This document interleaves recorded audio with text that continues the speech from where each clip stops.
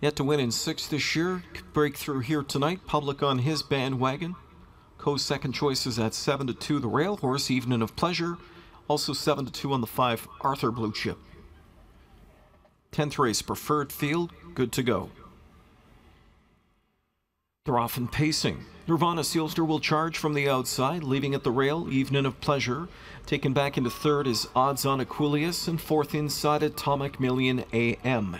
McWicked flashing speed as Conrad's got him on the hustle up into fifth now. Sixth away drops Arthur Blue Chip down to pylons. Back two in the group are Ultimate Beach Boy and trailing Ellis Park. So here's the quarter pole, compliments of front stepping long shot Nirvana Seelster as he checks in a quarter of 25 and 4. Parked out pressure comes from McWicked as Conrad's got him surging. Here's McWicked in the backstretch looking to be released to the front. In at the rail, Nirvana Seelster to take back and race second.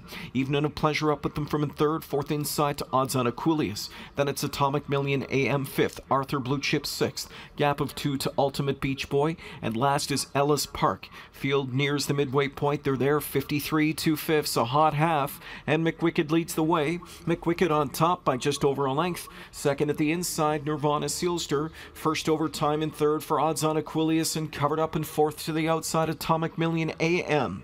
Evening of Pleasure rides the pylons fifth now. Sixth inside as they track the turn as Ultimate Beach Boy. Then Arthur Blue Chip and Ellis Park tightly packed on the way to three quarters here. And it's McWicked on top by two as Condren grabs some separation on the others. Three quarters in 122 and 1.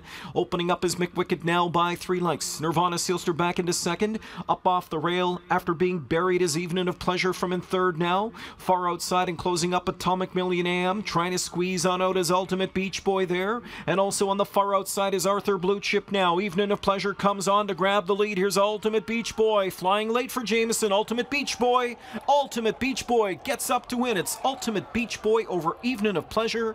Then Nirvana Seelster in one. 149 and 3.